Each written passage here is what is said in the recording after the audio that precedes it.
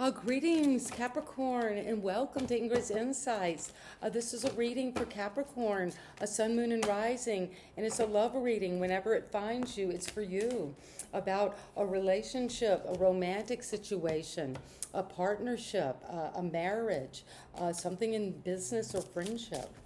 And uh, let's see what we start off with the King of Pentacles. Well, uh, this is an earth sign like you. Uh, you're connecting to love around your wealth, around your uh, ability to be uh, the breadwinner, uh, to be uh, a business person who is very fortunate and has managed the money well in your career. And so that's the kind of love uh, that's coming in for you, Capricorn. Um, and what's coming is with this um, a King of Pentacles. Uh, you could be looking for love um, that's secure, that's stable, uh, there where there's a lot of wealth and abundance involved. Uh, but there could be fighting uh, with this kind of energy. There could be quarrels and setbacks in your business. This could be a business relationship uh, that you're having to stand your ground for maybe to uh, uh, have like setbacks, but that you're going to keep on moving. Uh, maybe physical energy where you have some sexual tension around this relationship, or some sports competition with friendships. But it's going to uh, lead to business success if you keep uh, persevering. And this um, could be connecting to someone from your past uh, a situation from your past, some nostalgia, um, where you're really uh, thinking about past love, past relationship, where there was maybe quarrels, arguments, fighting. Um, but you're renewing that innocence, that love, that childhood, a feeling of innocence, um, where you just want to feel good and feel that flow of love and that joy and happiness uh, is coming because you're closing out an old cycle. Uh, you're coming to a whole new reality. You could be traveling uh, in around the world or traveling um, and connecting to someone who's going to be uh, part of your um, new reality because you're letting the past go something about the past love. You're letting it go and closing out a cycle, but you're going to be recognized and fulfilled and um, celebrate this. Uh, and the Seven of Pentacles, you're going to celebrate this and then take time to uh, reevaluate. Once we close out one cycle, the other one doesn't just immediately begin. So you're going to work with this. Um, sense of what you've grown. You have seven uh, pentacles. That's a lot of security.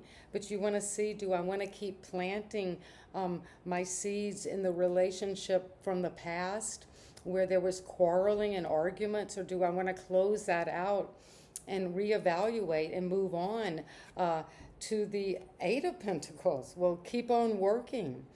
This is a card of really grounding and working on the relationship uh, being like an apprentice and keeping on going with this.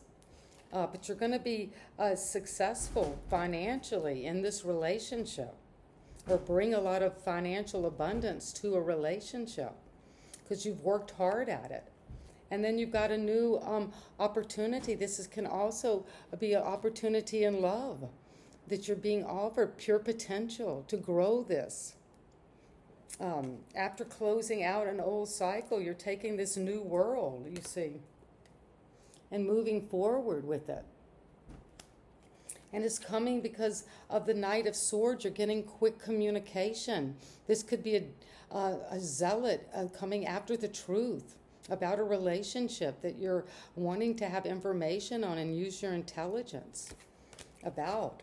And it's going to bring you um, the Ten of Wands, where you're closing out an, a cycle um, that has caused a lot of burden. Maybe you feel like you've been uh, carrying all the uh, weight in this relationship and you're ready to let go. You're almost there and to move on with a new opportunity. Uh, and that is what I'm seeing uh, for you at this time at Capricorn. You come upon uh, this relationship question where you are the boss. Um, you're on your throne, you're the problem solver. And you've been having to deal with a lot of fighting and arguments and setbacks in what it is that you are working for, working on, uh, building, growing. And it has to do with uh, an earth sign, perhaps. But you're fighting it out with your intuition, with your fire. And your, uh, it has to do with something from the past that is maybe returning, where you're, it's bringing up a lot of, of old conflict, maybe inner child wounding that needs to be healed and come back to innocence and to that playful happiness.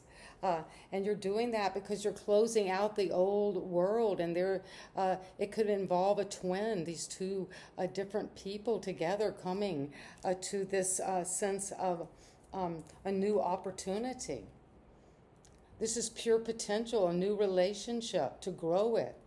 And you're um, seeing what you have invested in your relationships in the past and evaluating that, appraising it and seeing, well, uh, do I want to keep on growing here? And you say, yes, the eight, I'm going to keep working on this skill.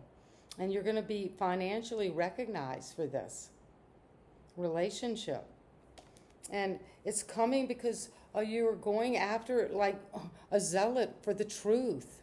Uh, the right is worth the cost and you're going to uh, have a heavy burden and op- moral obligation, I guess, to uh, in, keep that truth out there, to keep moving toward it.